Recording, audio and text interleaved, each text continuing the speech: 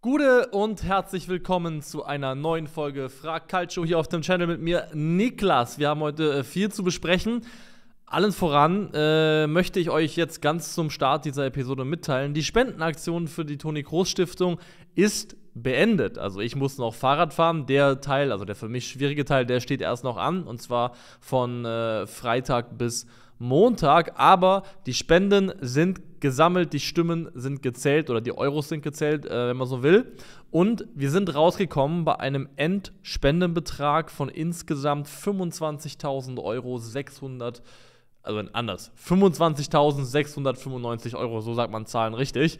Und ich muss ganz ehrlich sagen, also erstmal vielen, vielen Dank an jeden. Und damit meine ich wirklich jeden und jede Einzelne, die egal in welcher Größenordnung hier gespendet hat. Es gab Spenden verschiedenster Beträge und es ist der absolute Wahnsinn gewesen. Als ich das Spendenziel auswählen sollte, auf der Seite habe ich 10.000 Euro gewählt und war mir nicht ganz sicher, ob ich damit nicht ein bisschen hochgreife. Und ihr habt die Erwartungen so dermaßen pulverisiert, dass es eigentlich kaum in Worte zu fassen ist. Und ich bin schon oft im Kontext von dem, was wir hier machen mit Culture Berlin, sehr, sehr stolz gewesen. Aber ich bin jetzt gerade vor allem stolz darauf, dass wir so eine aktive, so eine engagierte und so spendenwillige Community haben, die da wirklich mitgezogen hat auf eine Art und Weise, die ich absolut fantastisch finde. Also vielen, vielen Dank dafür. Ihr seht einmal hier quasi analog zu einer Bundesliga-Tabelle die Spendentabelle der 18 Vereine, die am meisten gespendet haben. Ich kann jetzt nur gerade Fokus geben auf die obersten Plätze und äh, da hat sich ganz zum Ende noch ein bisschen was verschoben, auch mit Konsequenzen für mich. Denn Werder Bremen, die ganz, ganz lange vorne mit dabei waren,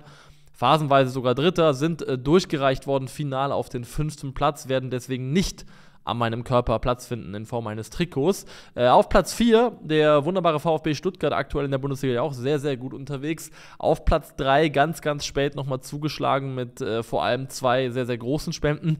Die TSG aus Hoffenheim, der äh, selbsternannte Dorfverein, hat, muss man sagen, spendentechnisch äh, massiv abgeliefert und äh, wird deswegen zweimal auf der Tour einen Platz auf meinem Rücken finden. Auf dem zweiten Platz der FC Bayern München, der ganz spät nochmal zeitweise am Schalke 04 vorbeigezogen ist. Ähm, aber die Schalke haben gesagt, 2001 machen wir nicht nochmal und haben nochmal sich ordentlich berappelt und ganz knapp am Ende die Nase vorne gehabt. Das heißt, das Schalke-Trikot werde ich während dieser Tour insgesamt viermal tragen tragen. Also wirklich, vielen, vielen Dank an euch alle. Das ist eine Riesennummer für uns und ich freue mich mega, dass wir so eine coole Summe, so einen großen Betrag gesammelt haben für die Toni Kroos Stiftung.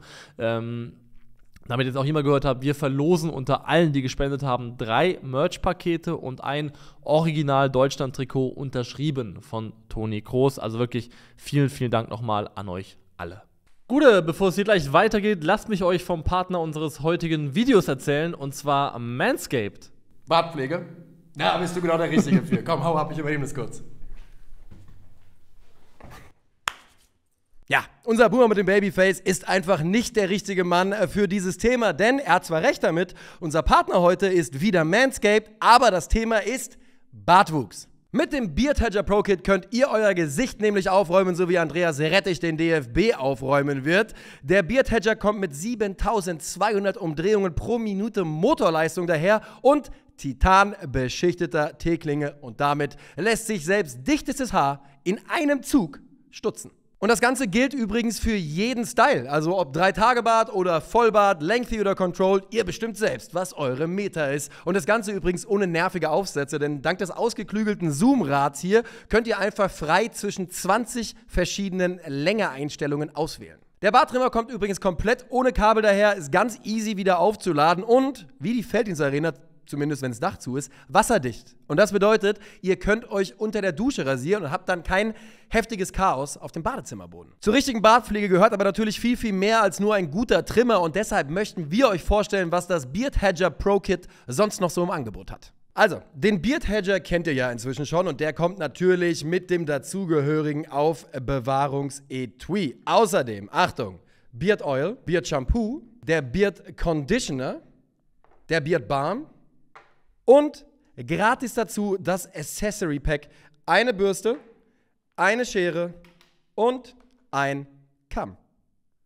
Also, schnell rüber zu manscape.com und sichert euch 20% Rabatt plus kostenlosen Versand mit dem Code CALCIO, C-A-L-C-I-O. Nochmal, manscape.com, Code CALCIO, 20% Rabatt plus kostenlosen Versand. Macht es also wie 9 Millionen andere Männer und vertraut Manscaped. Und jetzt zurück zu euren 9 Millionen Fragen oder besser zurück zu Niklas. Und jetzt starten wir rein mit euren Fragen. Und die waren wieder mal sehr, sehr gut. Die erste kommt von Dorian Ammer 2153. Hi Niklas, um im Kontext eures Beitrags zu bleiben, falls die Leute den Community-Post nicht gesehen haben, habe ich gese nicht gesehen haben, langsam, habe ich geschrieben, ähm, äh, Wolfsburg and Back Again, A Hobbit's Tale bei Niklas Levinson, da ich ja am äh, vergangenen Wochenende in Wolfsburg war. Und ähm, daran angelehnt fragt Dorian Ammer 2153, stell doch bitte deine neuen Gefährten aus Fußballern zusammen. Bin gespannt, wie viele wir schon bei der ersten Frage hier verlieren, zwecks äh, Nerdigkeit. Ähm, also, wer ist dein Kampfzwerg in Klammern Gimli? Wer ist der Anführer Aragorn etc.? Also, ich habe jetzt wirklich einfach alle neun Gefährten, die es gab und gibt, mit ähm, Fußballpersönlichkeiten belegt und äh, habe da auch versucht darauf zu achten, dass sich gewisse Synergien zwischen den einzelnen Protagonisten hier ergeben. Aragorn, fangen wir mit dem äh, großen Namen an. Aragorn habe ich entschieden, Kales Puyol ist mein Aragorn, weil er haartechnisch auch in die Nähe kommt und auch ähnlich wie die Dunedain-Zeit seiner Karriere so aussah, als ob er irgendwie schon seit 200 Jahren unterwegs wäre. Ähm, und Aragorn muss ja auch eine, letztendlich eine Figur relativ reinen Herzens, noblen Herzens sein mit einem sehr, sehr starken Charakter. Und ich glaube, das kann man Carlos Puyol als Fußballspieler auf jeden Fall äh, vollumfänglich attestieren. Gimli, Gimli habe ich entschieden, ist für mich Gennaro Gattuso. Es muss ja größentechnisch irgendwo passen, aber auch vom Aggressionspotenzial her. Gleichzeitig gilt da auch, dass ähm, auch Gimli ja jemand ist, der sehr aufbrausend sein kann, aber glaube ich ein guter Mann ist, äh, summa summarum. Und das glaube ich gilt auch für den äh, italienischen Kampfzwerg. Habe ich schon überlegt, ob ich das so quasi dann so mache, dass Spanier quasi Menschengeschlecht sind. Äh, äh, Italiener sind die Zwerge, wobei ich habe Legolas belegt mit David Beckham, nicht irgendeinem David Beckham, sondern David Beckham, als er die, ähm, glaube ich, teilweise bei Real langen blonden Haare hatte, weil er dann auch wirklich am ehesten ähm, in die Elbenoptik gepasst hat, minus die Tätowierung. Man muss jetzt allgemein sagen, dass die Briten als Gesamtbevölkerung sich nicht so wahnsinnig gut eignen, um die Elben zu repräsentieren. Ähm, aber sei es mal hingestellt, David Beckham aufgrund äh, seiner makellosen Optik äh, Zeit seines Lebens und auch muss man auch sagen, Legolas ja ein begnadeter äh, Fernschütze mit Pfeil und Bogen und auch David Beckham ist ja als äh, Distanzschütze berühmt, äh, berüchtigt gewesen. Äh, Gandalf, Gandalf, der, der Graue, später der Weiße. Äh, Marcelo Bielsa. Marcelo Bielsa ist ja auch eine, eine, Magier des Fußballs, muss man sagen. Also die Figur muss ja schon ein bisschen älter sein, der Trainer oder die Person. Und auch Marcelo Bielsa ist jemand, der oft in Rätseln spricht und schwierig zu verstehen ist, aber letztendlich sehr, sehr weise und bei Bielsa, genau wie bei Gandalf, auch sehr, sehr guten Herzens. Marcelo Bielsa ist, glaube ich, ein absolut fantastischer, exzentrischer, aber liebenswerter Mensch und hat das auch in der Art und Weise, wie er aufgetreten ist und sich verhält, mehrfach schon unter Beweis gestellt. Und ich finde, Marcelo Bielsa wäre ein sehr, sehr würdiger Gandalf. Ähm, Boromir. Boromir, einer meiner Lieblingsfiguren aus Herr der Ringe, ist eine tragische Figur, aber ich äh, mag und mochte ihn sehr, sehr gerne.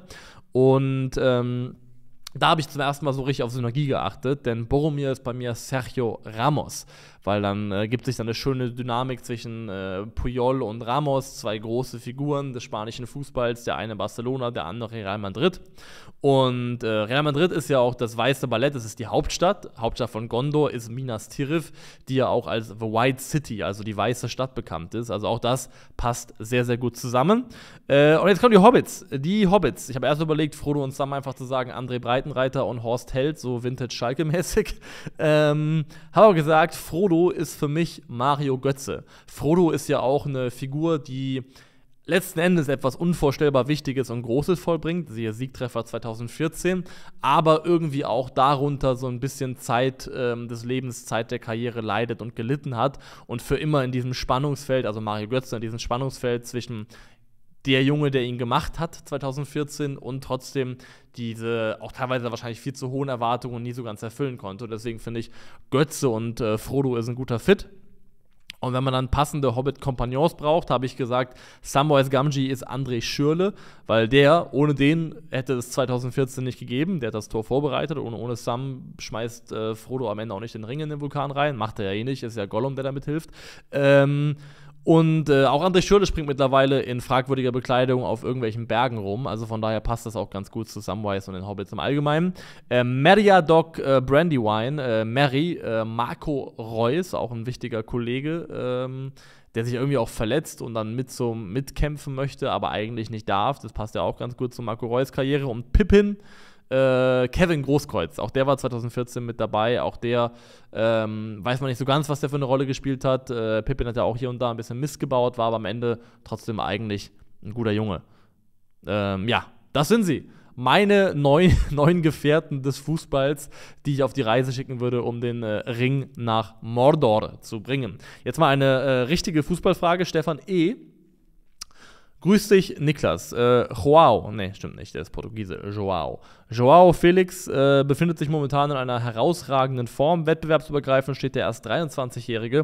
Portugiese bei drei Toren und zwei Vorlagen nach vier Spielen. Seit seinem 127 Millionen Euro Wechsel zu Atletico im Jahr 2019 schien er oft nicht mehr an die Leistungen anzuknüpfen, die er zuvor bei Benfica gezeigt hatte. Sein Aufenthalt bei Chelsea hinterließ ebenfalls keinen bleibenden Eindruck, weshalb ihn viele schon abgeschrieben hatten. Daher lautet meine Frage: Glaubst du, dass Felix, Felix endlich sein volles Potenzial entfalten wird oder wird er erneut in ein Formtief geraten? Liebe Grüße aus äh, Vienna. Also Joao Felix ist seit jeher einer meiner ähm, Lieblingsspieler, jemand, für den ich auf jeden Fall eine große Schwäche habe, den ich eigentlich immer gerne spielen sehe und von dem ich mir auch irgendwie auch erhoffe und wünsche, dass er eben noch die Karriere hat, die ihm mal vorausgesagt wurde. Ich glaube, wir sind uns alle einig und ich glaube, der Spieler würde das mittlerweile vielleicht auch sagen. Hat er, glaube ich, auch schon letztens im Interview so mehr oder weniger angedeutet, dass ähm, Atletico und Joao Felix einfach nicht der richtige Fit gewesen ist. Äh, Atletico hat damals die Griezmann-Kohle bekommen, hat irgendjemanden gebraucht, der das, ähm, der das ersetzen kann oder der in dieses Vakuum reinstößt, ähm, was Griezmann hinterlässt. Äh, hat dann eben äh, Joao Felix gefunden, da ist ein dicker, fetter Betrag für geflossen, wo ich auch bis heute sage, diese 127 Millionen waren einfach auch unverhältnismäßig, aber Benfica ist eben ein Verein, der sich auch die Spieler entsprechend bezahlen lässt. Ähm, und ja, Atletico und Joao Felix, das war und wird nie der richtige Fit gewesen sein. Das ist einfach so. Also, das ist eine, ein Spieler, der irgendwie auch so sehr aufblüht, wenn er Freiheiten genießt, offensive Freiheiten genießt, in so ein ähm, vor allem gegen den Ball diszipliniertes Korsett reinzuzwängen, wie es eben Atletico ist. Ähm, und auch eine Mannschaft, die sehr, sehr gegen den Ball orientiert in den meisten Jahren gedacht hat und gar nicht so sehr das Offensivspiel als Prio hatte. Das beschneidet einfach diesen Spieler in seinen Möglichkeiten. Jetzt bei Barcelona hat er, findet er eine andere Vereinskultur einfach schon vor, eine Kultur des schönen Spielen Wollens, die schon viel mehr ihm entgegenkommt.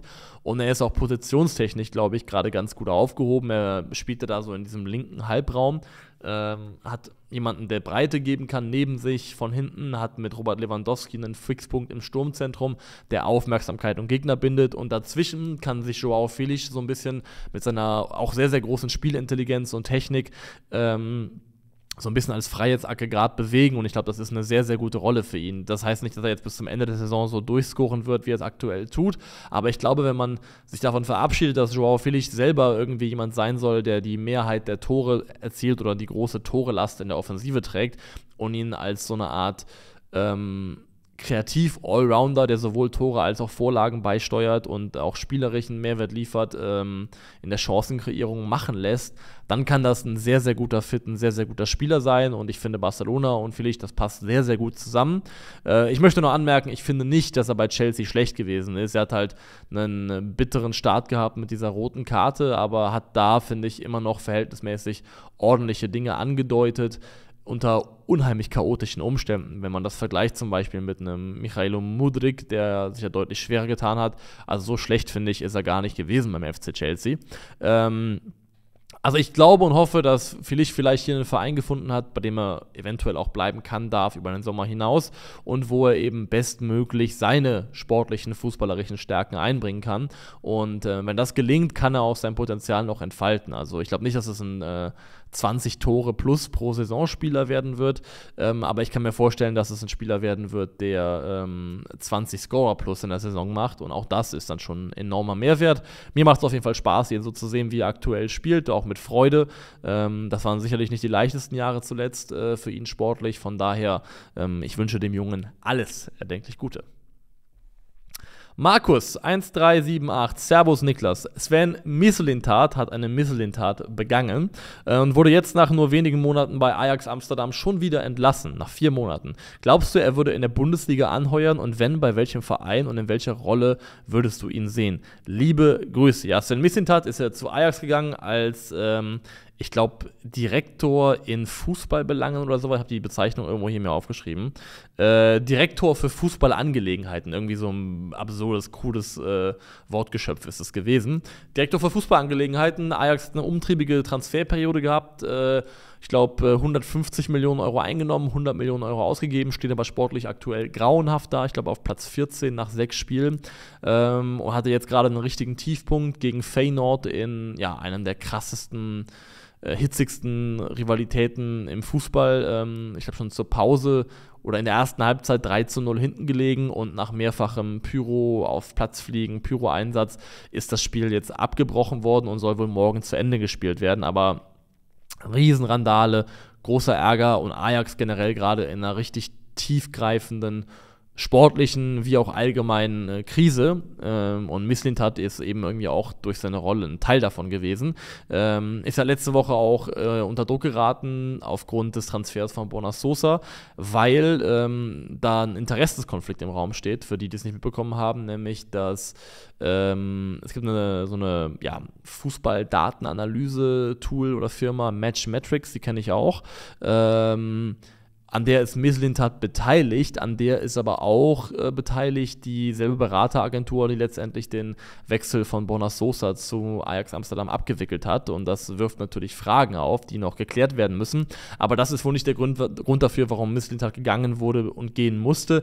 Der Verein hat selber gesagt, ähm, es hat die volle Unterstützung im Verein gefehlt. Verschiedene Versuche, eine breitere Basis herzustellen, haben nicht zu dem gewünschten Effekt geführt und das führt zu Unruhe in und um den Club herum, kommt auch durch die enttäuschenden Leistungen. Und ich muss sagen, ich finde es echt krass, dass Sven Mislintat, der ja in Deutschland als unbestritten einer der ähm, größten Fußballfachmänner gilt, würde ich sagen, was die reine ja, sportlich-inhaltliche Qualität angeht, dass der bei seinen Auslandsstationen dann doch relativ krass auf die Nase gefallen ist. Ajax ist jetzt nach vier Minuten, vier Minuten, vier Monaten Geschichte, aber im Kontext der ja, vielleicht angedachten Dauer sind es gefühlt nur vier Minuten. Ähm, und bei Arsenal war er ein bisschen länger, aber auch da ist seine Gesamtbilanz recht ernüchternd ausgefallen und man ist definitiv nicht happy und zufrieden, glaube ich, gewesen mit der Arbeit, die er dort geleistet hat.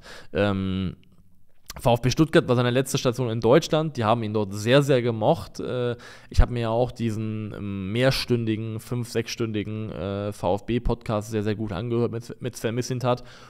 Und er ist ein Menschenfänger, also wenn man ihm zuhört, wenn man dem Mann zuhört, ähm, hat unheimliche Gabe, kommunikativ Leute an seinen Gedanken teilhaben zu lassen und Leute mitzunehmen. Und das macht ihn, glaube ich, auch zu einer rhetorisch starken Figur und spielt auch, glaube ich, in seine gute Reputation wahrscheinlich mit rein. Ähm, VfB war natürlich so ein bisschen, also war schwierig, das am Ende zu beurteilen, weil man muss jetzt auch sagen, die Mannschaft, die jetzt gerade sehr, sehr gut in der Bundesliga spielt, da sind natürlich auch einige Spieler dabei und Namen dabei, die auf die Kappe von Sven Mislintat gehen und auch einige Spieler, die zu Geld gemacht wurden, die Sven Mislintat verpflichtet hat. Ähm, also alles in allem würde ich trotz allem sagen, dass er auch beim VfB ne, sportlich am Ende gute Arbeit geleistet hat, aber nicht den richtigen Trainer vielleicht finden, gefunden hat und finden konnte, um das äh, entsprechend in die Bahnen zu leiten.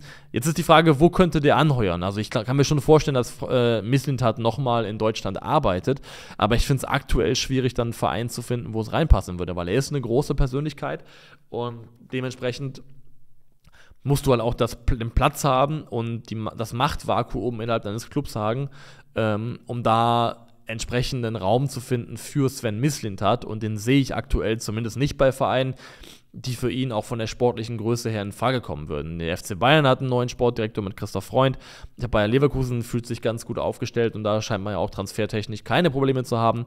Leipzig sehe ich ihn auch nicht. Ähm, Dortmund äh, war er ja schon. Ähm, aktuelle Konstellation auch nicht denkbar für mich. Frankfurt hat mit Kröschen einen sehr starken Mann. Äh, Union ist gut aufgestellt und danach kommen schon eher Vereine, wo ich sage, die sind tendenziell vielleicht eine Nummer zu klein für ihn. Ähm, Mislintat ist aber jemand, dem ich zutrauen würde, auch zu überraschen und vielleicht einen Projektweg zu gehen, vielleicht bereit zu sein, irgendwie was Kleineres zu machen bei einem Verein, der aber großes Potenzial hat. Ich gucke da automatisch in die zweite Bundesliga und äh, denke da zum Beispiel an den HSV. Das ist, glaube ich, vielleicht eine, wobei das auch mit Jonas Bolten starker Mann, boah, ich finde es echt schwierig, weil bei Schalke könnte viel Bewegung reinkommen, könnten ab demnächst mal nicht nur auf der Trainerbank äh, ein paar neue Gesichter auftauchen, ähm, auch im Hintergrund. Das Ding ist halt, Missint hat hat BVB-Vergangenheit und so wie ich ihn wahrgenommen habe in, den, in dem Podcast und in seinem Auftreten, ist es auch jemand, für den solche Sachen nicht äh, irrelevant sind. Ich glaube nicht, dass es jemand ist, dem das leicht fallen würde zu sagen, ja, fuck it, ich war mal beim BVB, aber das ist ja Ewigkeiten her. Schalke würde ich auf jeden Fall machen. Tendenziell würde ich eher sagen, dass er es nicht tun würde. Und deswegen, ich kann mir vorstellen, dass er nochmal ein Amt findet in Deutschland, aber aktuell bietet sich da für mich kein Club an. Ich glaube, da müsste erst bei irgendeinem Verein was passieren, irgendjemand gegangen werden, sodass halt eben das Machtvakuum entsteht, für das oder in das Misslintat reinstoßen könnte. Aktuell sehe ich das in der Form bei keinem Verein so richtig, äh, wo ich sagen würde, der wäre auch groß genug, um ihn von der Aufgabe her zu reizen. Äh, nächste Frage. Hendrik Stab, äh, 3762. Gute Niklas, nach dem über weite Teile doch recht überzeugenden Sieg gegen Rostock wäre meine Frage an dich, ob du dem FCK in dieser Saison realistische Aufstiegschancen zutraust. Grüße aus Hessen. Also, Lautern ähm, steht ja jetzt aktuell wirklich sehr, sehr gut da. Sieben Spiele gespielt, vier Siege, ein Unentschieden, zwei verloren. Zwei Niederlagen direkt zum Auftakt gegen äh, St. Pauli, die Zweiter sind, also eine der anscheinend offensichtlich äh, stärksten Mannschaften der, Bundes der zweiten Bundesliga. Und gegen Schalke auf Schalke, wo man sich mehr oder weniger selbst geschlagen hat mit, äh, mit zwei roten Karten. Ähm, und danach, muss man sagen, ist der FCK wirklich richtig gut ins Rollen gekommen. Ähm, das Unentschieden war auswärts beim KSC, also im Derby, und auch damit kann ich ganz gut leben. Also alles in allem muss ich sagen, es ist ein fantastischer Saisonstart, mit dem ich sehr, sehr happy bin. Aber 13 Punkte nach sieben Spielen klingen besser, als der Fußball in weiten Teilen gewesen ist. Ich finde auch, man hat äh, Glück gehabt bei manchen Spielen. Also gegen Elversberg war man fußballerisch, sportlich definitiv zum Beispiel nicht die bessere Mannschaft. Also man hat da definitiv auch ein bisschen Glück gebraucht, um die ein oder andere Partie zu gewinnen, was auch dazugehört. Ähm, mein Gefühl ist aber, dass der Fußball, den der FCK aktuell spielt unter Dirk Schuster, dass der nicht äh, nachhaltig genug ist, um wirklich bis zum Ende in der Spitzengruppe dabei zu sein. Da gibt es andere Mannschaften, die sehe ich einfach ein Stück weiter. Ich sehe Pauli von der Anlage viel, viel weiter. Der HSV ist, glaube ich, einfach kadertechnisch, auch obwohl die jetzt zwei verloren haben, zu gut besetzt. Ähm, Hannover sitzt uns im Nacken, die ganz gut reingekommen sind, letztendlich dann doch hinten raus. Äh, Hertha ist gerade auf dem Weg nach vorne, arbeitet sich von hinten nach vorne hoch und gewinnt gerade wieder Spiele. Also mir fehlt die Fantasie dafür, dass das, was der FCK bisher geleistet hat, reichen kann, um bis zum Ende um die Aufstiegsplätze mitzuspielen. Ähm, was ich sagen muss, ich, für mich ist es auch der gute Start. Mh, Zeugnis davon, wie gute Arbeit vor allem Thomas Hengen in der Kadergestaltung gearbeitet hat. Denn ich glaube, davon profitiert der FCK auf jeden Fall, dass die Mannschaft einfach an sich besser geworden ist, sichtbar besser geworden ist auf verschiedenen Positionen und davon das Gesamtgefüge profitiert. Also Elvedi war eine sehr, sehr gute Verpflichtung, die sich zum Beispiel auch mit, äh, mit äh, Tomjak, mit Kraus sehr, sehr gut ergänzt hätten in der Innenverteidigung. Ähm, Tobias Raschel fürs Mittel Mittelfeld zu holen, ist ein super Transfer gewesen, hat ja jetzt auch gegen Rostock getroffen. Auch der wertet die Mannschaft qualitativ nochmal richtig gut auf. Man hat einen ähm, zweiten Sechser geholt von St. Pauli. Du hast äh, natürlich äh, Ragnar Ache geholt. Das ist, glaube ich, so aktuell der Transfer, der alles überstrahlt. Und man sieht ja jetzt gerade äh, Terence Boyd, der letztes Jahr quasi Lebensversicherung war und gefühlt, wenn Boyd nicht funktioniert, hat er beim FCK auch wenig funktioniert. Der hat bisher noch eine relativ bescheidene Rolle gespielt. Also vieles lastet da gerade auf den Schultern von Ragnar Ache. Aber auch der wird das Scoring-Output, was er aktuell liefert, nicht über 34 Spieltage halten können. Deswegen, für mich lässt sich das gerade so an, als ob der FCK zum zweiten Mal in Folge im zweiten Jahr Zweitliga nach dem Wiederaufstieg eine Saison spielen könnte, in der man zumindest mit dem unteren Tabellendrittel wenig bis gar nichts zu tun hat. Und wenn es das am Ende werden sollte, bin ich persönlich schon sehr, sehr glücklich. Alles andere ist Bonus. Ich wehre mich nicht dagegen, wenn wir oben mitspielen bis zum Schluss, aber persönlich damit rechnen tue ich aufgrund der anderen Mannschaften und aufgrund der Tatsache, dass ich das fußballerische Fundament noch als ein bisschen wackelig empfinde, eigentlich nicht.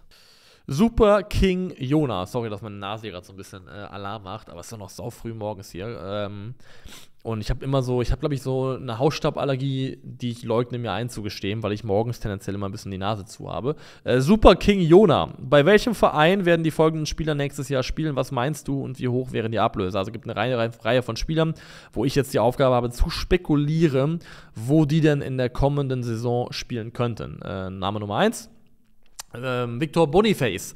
Bayer Leverkusen verpflichtet worden, gerade für 20,5 Millionen Euro. Lothar Matthäus sagt äh, Note 5 an die anderen 17 Bundesligisten, die da nicht zugeschlagen haben bei diesem Spieler.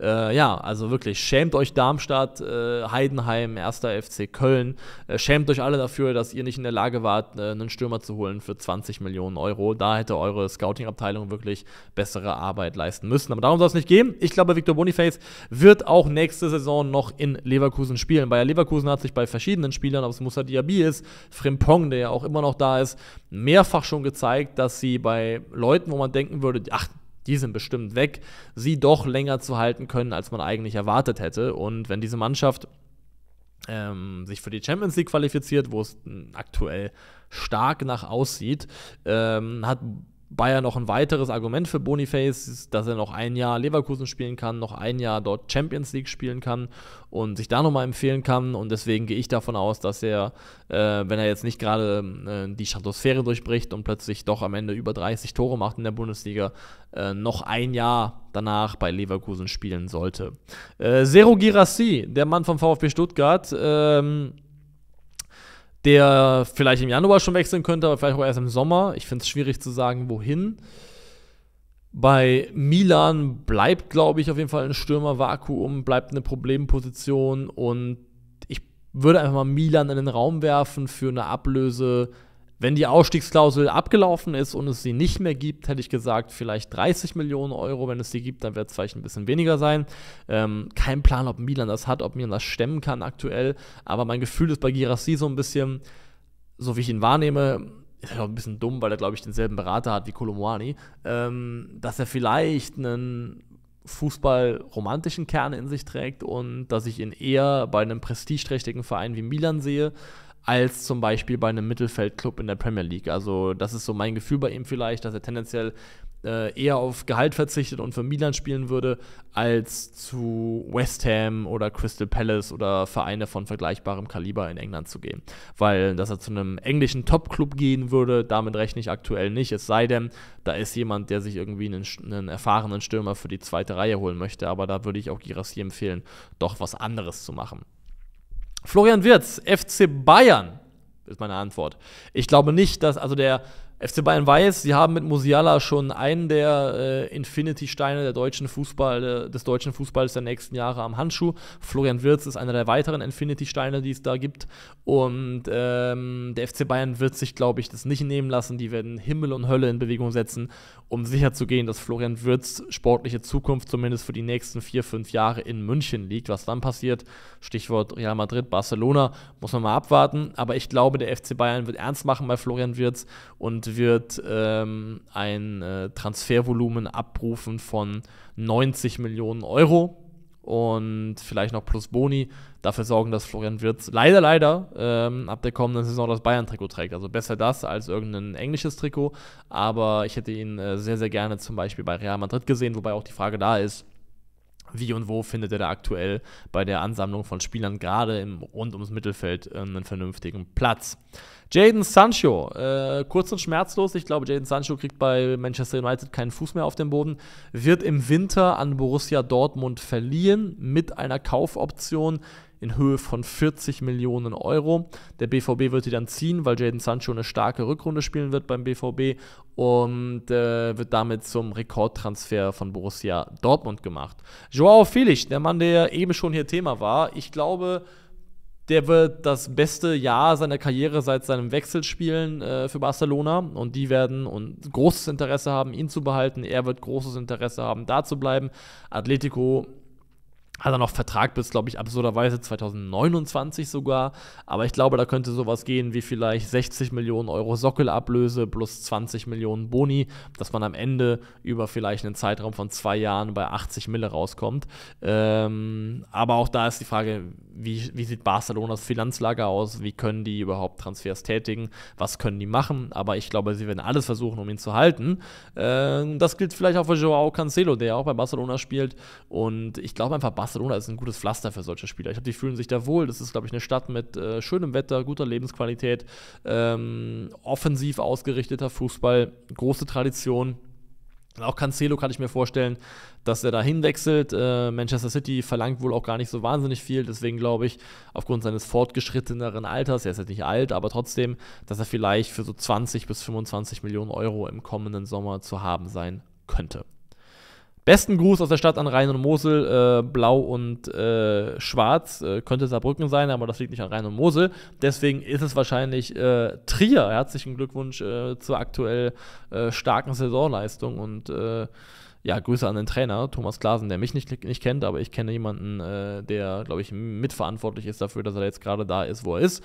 Also liebe Grüße gehen da raus. Ähm, Steven Rettich kommt mit der nächsten Frage um die Ecke, der, der Rettich himself. Äh, moin Niklas, die Frage kommt übrigens von unserem Discord, wo ihr auch Fragen einreichen könnt, äh, mit welcher einer höheren Wahrscheinlichkeit äh, hier reinzukommen. Äh, wenn ihr zum Beispiel Subscriber bei uns äh, auf Twitch seid oder Supporter bei Patreon, was auch immer. PSG hat sich diese Saison bekanntermaßen noch nicht so ganz gefunden. Dementsprechend könnte sich dieses Jahr mal wieder eine andere Mannschaft zum Meister in Frankreich krönen. Ein Dark Horse auf den Titel ist dabei für mich Nizza.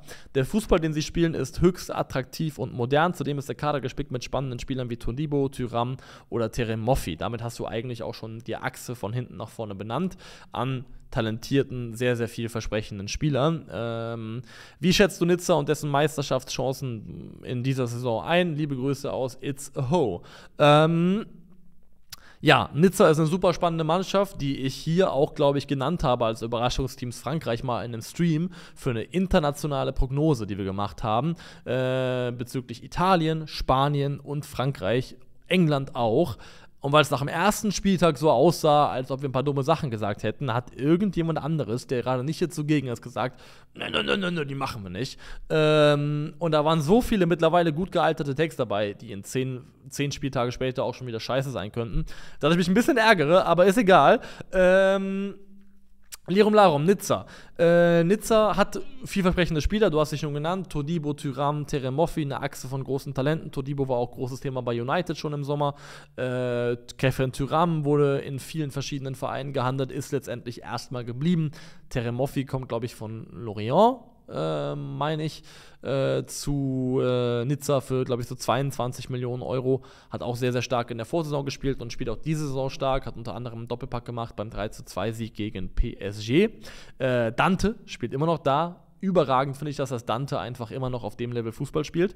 Ähm, aber ja, der eigentliche Star von Nizza ist in meinen Augen der Trainer. Und der Trainer ist Francesco Farioli, 34 Jahre alt, ist ein sehr, sehr junger Trainer, der als Cheftrainer zuletzt oder äh, seine ersten Gehversuche in der Türkei gemacht hat, zuletzt bei Antalyaspor war, bevor er eben jetzt bei Nizza angeheuert hat. Und es ist jemand, der schon in der letzten Saison so ein Darling gewesen ist. Ähm, von ähm, des, des Fußball-Taktik-Universums, so würde ich es mal äh, grob formulieren. Das liegt daran, dass er einen taktisch sehr, sehr innovativen, ballbesitzorientierten Fußball gespielt hat mit einer Mannschaft, die eigentlich über eingeschränkte Mittel verfügt. Francesco Farioli hat ähm, einen fußballerischen, ja, vielleicht geht es zu weit, aber so ein bisschen vielleicht schon einen fußballerischen Ziehvater, jemanden, dessen Einfluss auf ihn man definitiv nicht leugnen kann. Und das ist äh, einer der gehyptesten Trainer zurzeit äh, weltweit. Das ist Roberto, heißt Roberto? äh, De Zerbi von Brighton, denn äh, Farioli hat 2017, glaube ich, einen Artikel geschrieben über das damals noch von äh, De Zerbi trainierte Benevento. Der hat De Zerbi wohl so gut gefallen, dass er Farioli in seinen Stab geholt hat und die haben dann sowohl in Benevento als auch, glaube ich, für zwei Jahre bei Sassuolo gemeinsam gearbeitet, ähm, bevor dann Farioli in die Türkei gegangen ist, um dann seinen eigenen Weg zu gehen. Ähm, Aber man erkennt auf jeden Fall den Einfluss von De Zerbi äh, auf das Spiel von äh, Farioli und seiner Mannschaft. Die machen gerade, die, die machen, Nizza macht aktuell die Sachen gut, die ähm, eigentlich gerade on vogue sind, die äh, als modern gelten und die hip sind. Das fängt an mit äh, La Pausa, äh, wie es groß genannt wird, ähm, meint im Prinzip nichts anderes, als dass, wenn ihr Brighton-Spiele zum Beispiel schaut, dann ist ja mittlerweile kein Geheimnis mehr. Man sieht diesen Trademark-Move, dass die Innenverteidiger mit der Sohle auf dem Ball stehen und quasi darauf warten, dass sie unter Druck gesetzt werden, um dann eben von hinten rauszuspielen. Also den Druck einladen, den, das Pressing des Gegners ähm, locken und ähm, triggern, um dann eben äh, von hinten raus äh, zu überspielen. Und so äh, kreiert ja Brighton quasi für sich künstliche Umschaltmomente, indem sie den Gegner locken und dann ins, äh, ins Kombinieren kommen. Und dann fühlt sich das an wie ein Umschaltmoment, obwohl es das de facto eigentlich gar nicht ist. Ähm, Gibt es auch Mannschaften, die mittlerweile darauf reagiert haben. West Ham hat das zum Beispiel äh, unter David Moyes gegen Brighton sehr, sehr gut gelöst, hat sich darauf gar nicht äh, eingelassen eigentlich. Aber was, ähm, das macht Nizza eben auch. Was Nizza eben auch macht, sind Third-Man-Combinations, also Kombinationen über den dritten Mann und äh, flache Eröffnung vom Torwart hinten raus. Ich habe überlegt, ich habe leider keine Zeit gehabt, um Bilder gut rauszusuchen, deswegen nehme ich kurz hier diese Tafel zur Hand. Einen Moment, ich mache jetzt mal kurz den Krügi hier.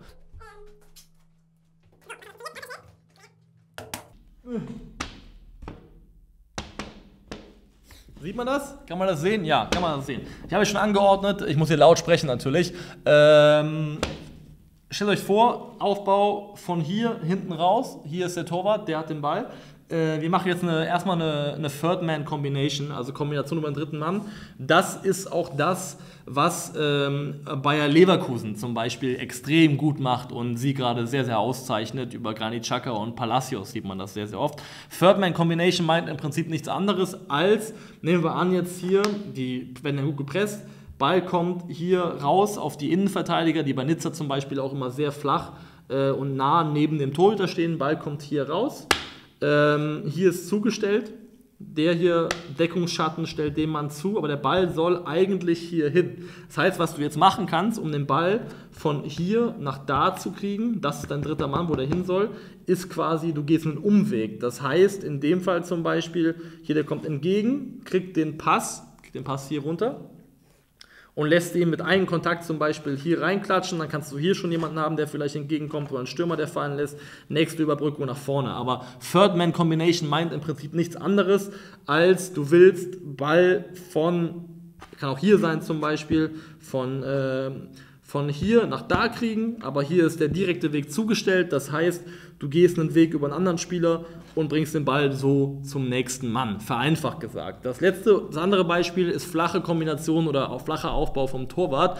Ähm, das hat, bin zu groß hierfür, äh, Inter zum Beispiel auch sehr, sehr prominent und gut gemacht, unter anderem im Champions League Halbfinale letzte Saison gegen Milan, kann man sich das nochmal anschauen, weil die ja mit Onana einen sehr, sehr starken, spielstarken Torhüter hatten. Ich muss schreien.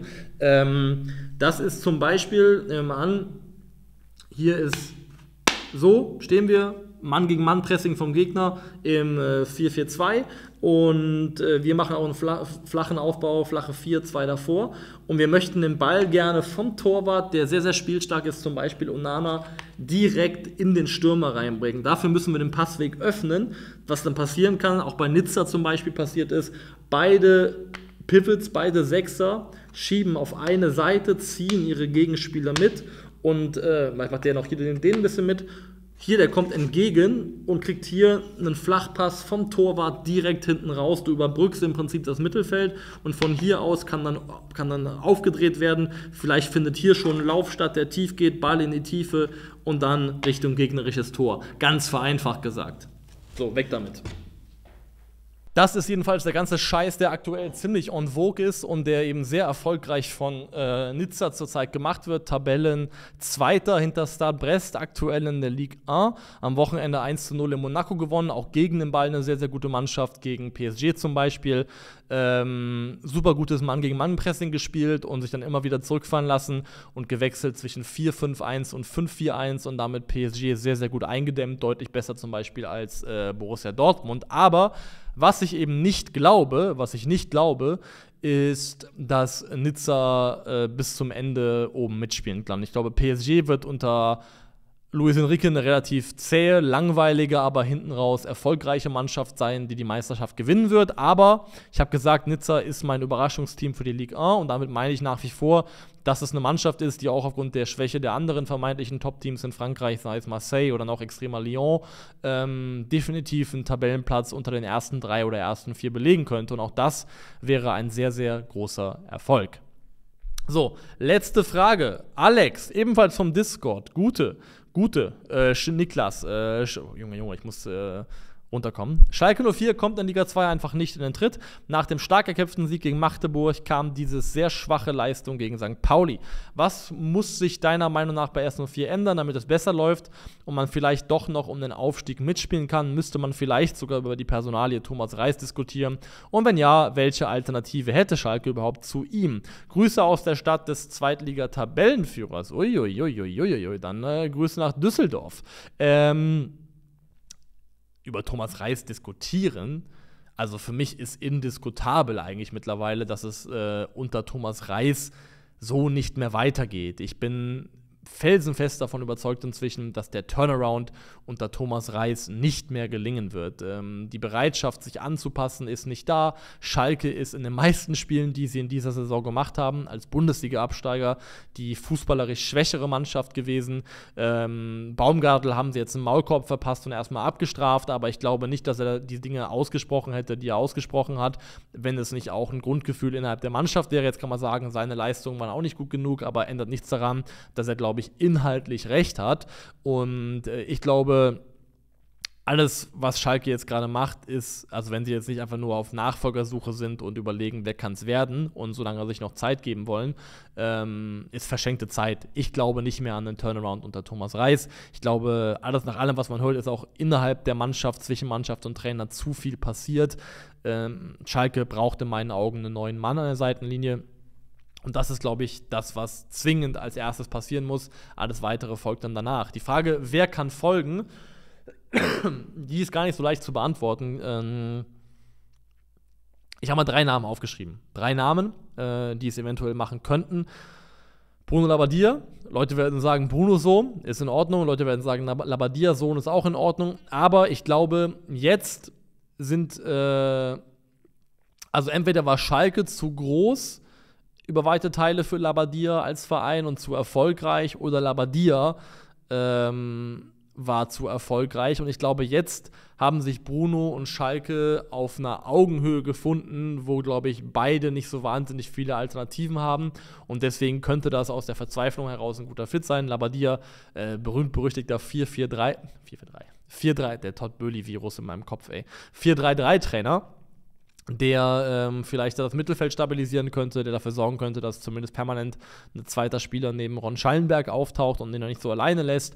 Also warum nicht Labadia, wenn der es nicht werden soll, wenn es ein etwas äh, jüngerer, frischerer, unverbrauchterer Name sein soll, dann vielleicht Robert Klaus, der ist äh, äh, aus der definitiven Fußballfachmann, ist ein großer Taktiker, kommunikativ manchmal ein bisschen schwierig, weil das so ein bisschen in Richtung von der Fachsimpelei geht, die ja auch Tedesco bei Schalke ähm, gerne mal angeschlagen hat. Aber wenn man jemanden möchte, der die Mannschaft fußballerisch vielleicht weiterentwickeln kann und äh, neue, weniger eindimensionale Impulse setzt, als das Thomas Reis tut, dann ist, glaube ich, Robert Klaus keine schlechte Alternative, der auch finanzierbar sein sollte für Schalke 04 als Trainer.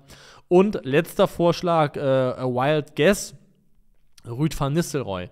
Der war zuletzt bei PSW ähm, hat da eigentlich ganz erfolgreich gearbeitet. Ich glaube auch den Pokal gewonnen oder sowas, aber ist dann am Ende doch gegangen worden. Und es lag wohl auch daran, dass da wohl Spannungen zwischen Team und Trainer waren.